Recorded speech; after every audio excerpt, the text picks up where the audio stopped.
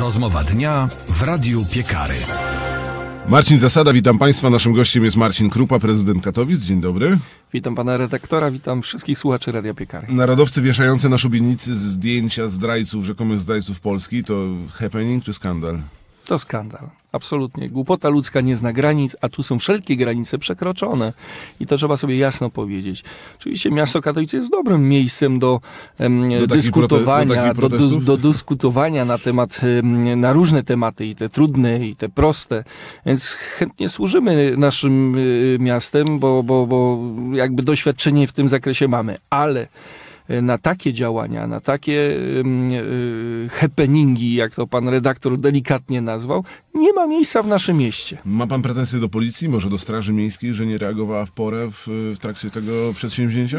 Pretensji nie mam, y, natomiast ja uważam, że absolutnie osoby, które te szubienice trzymały, czy które stoją za tego typu działaniem, po, powinny podnieść absolutnie karę i to przecież jest proste do ustalenia, kto to był, kto trzymał i, i, i, kto był pomysłodawcą A tak jak to się dzieje, Panie Prezydencie, że, że właśnie dzisiaj środowiska takich nacjonalistów, niektórzy wręcz mówią faszystów, e, są e, obecne w przestrzeni naszej publicznej bardziej mocniej niż, nie wiem, 5, 10, 15 lat temu? Ja myślę, że zawsze były obecne, natomiast... y, A nie ma dziś przyzwolenia po prostu na tego typu działalność większego? Y, Ja myślę, że dzisiaj jest troszkę większa odwaga wśród y, ludzi i to powoduje właśnie tego typu zachowanie. Kiedyś to było bardziej utajnione, tam gdzieś y, undergroundowo to się działo, a tutaj uważam, że absolutnie nie ma miejsca w przestrzeni publicznej na tego typu manifestowanie swoich uczuć, y, nie wiem, y, swoich religii Poglądów? czy jakichś poglądów. Tak. Katowicka Platforma ma nowego szefa i nie jest to poseł Marek Wójcik. Pan zaskoczony?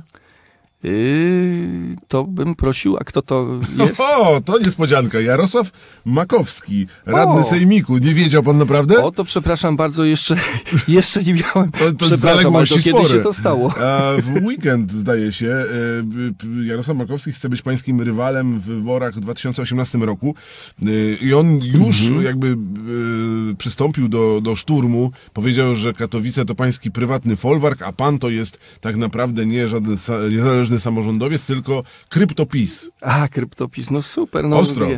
e, Panie redaktorze, każdy ma prawo do wypowiadania swoich y, myśli. Żyjemy w demokratycznym y, państwie, a więc no absolutnie, no co ja mam powiedzieć, no każdy może myśleć jak sobie myśli. E, Fakt jest jeden, że absolutnie Katowice nie są prywatnym folwarkiem nikogo poza, po, poza e, e, mieszkańcami, którzy e, działają, mieszkają w tym mieście, a więc to jest nasze wspólne miasto, a nie prezydenta, rady miasta, czy jakiegokolwiek innego ciała, czy organizacji, która funkcjonuje na, na, terenie naszego miasta. Absolutnie, jeżeli chodzi o kwestie wyborcze, no to, to każdy ma prawo startować w wyborach. A propos tych wyborów, w ostatnim sondażu Gazety Wyborczej dostał pan ponad 50% 100% głosów? E, tak, tak to wyglądało? To dużo, czy, czy, tak, czy mniej niż się pan spodziewał? Rzeczywiście y, sondaż był y, przeprowadzony. Ja się nie zagłębiałem, znów niestety przepraszam, ten sondaż, ponieważ ja bardzo sceptycznie podchodzę do jakichkolwiek sondaży. Tam, gdzie, y, nie wiem, nawet no gdzie jakaś, prowadzę, jakaś czy, czy jest to jakaś na pewno wskazówka. Natomiast nie ma pan mocnego rywala, to jest fakt. Czy dobrze, czy źle, to już, to już pozostawiam ocenie. to, to się okaże dopiero w okresie wyborczym, czy mam mocnego, czy nie mam mocnego rywala.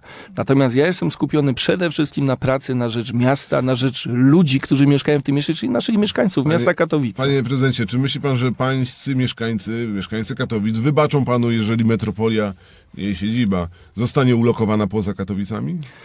Panie dyrektorze, a nie widzę takich y, przesłanek czy zagrożeń, żeby, żeby siedziba metropolii była umiejscowiona poza No Katowicami. inne miasta proponują dzisiaj metropolii ciekawe, ładne, atrakcyjne, wyremontowane na ich koszt lokalizacje, Mhm, na e, przykład? warunki Na najmu, przykład, no, panie? Siemianowice, słyszę, że Ale może Ruda Śląska, że może Chorzów, że może Sosnowiec, Tak. czemu nie? Panie dyrektorze, w Chorzowie konieczny remont i to porządny. Nie, no absolutnie. To, E, W Rudzie Śląskiej konieczny remont. I to na koszt porządny. miasta, e, miasto chce wziąć na siebie. Mamy e, e, oczywiście Siemianowice, gdzie jest obiekt prywatny. Prywatny, tak, a w Katowicach mamy pad.